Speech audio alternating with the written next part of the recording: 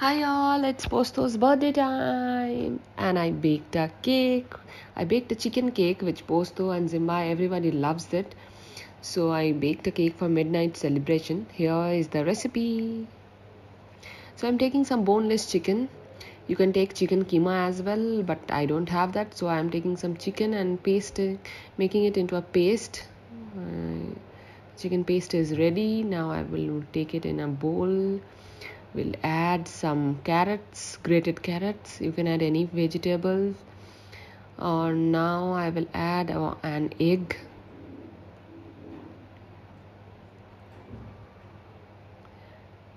Then we'll add 2 tablespoon of oats. And mix it very well if you want you can put a very little amount of a pinch of baking powder but I am not adding that. So now I am taking a small cake tin you can use any aluminium bowl. I'm using a cake tin here and putting some coconut oil. I will grease it with coconut oil. You can use olive oil or sunflower oil as well but I prefer coconut oil so I'm using coconut oil. Grease it very well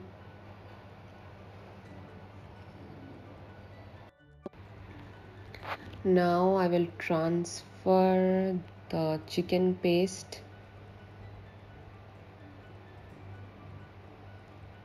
Into the bowl.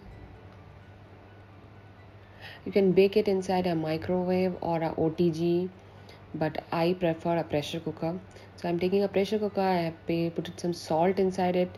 The salt is reusable for baking and uh, I'm putting a rack inside it and now removing the gasket and put the top and preheat for 10 minutes.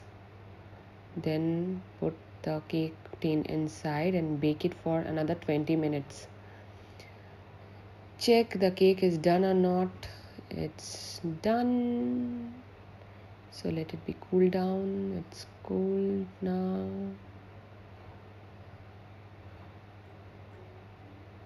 If you are using an aluminium tin use a knife to remove it from the pan. Now I'm putting some low fat yogurt. You can use peanut butter but make sure that peanut butter doesn't have any sugar and salt added. So dog peanut butter. Take dog peanut butters. You can use peanut butter or you can decorate with some smashed potatoes or you can use a hung curd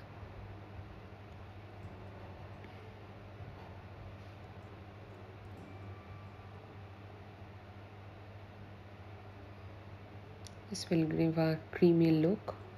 I'm taking some cookies. I have added some peanut butter beside that and adding it to the my cake. If you are taking flat cookies you might not need to take that but to stick it with the cake I am using this peanut butter. This is homemade peanut butter. If you want I will share the recipe okay my heart shaped cake is ready. I'm adding a topper. This cake topper is made by me. And it's done. Thank you. If you make it please tag us. Posto the cocker posto would you like to tell something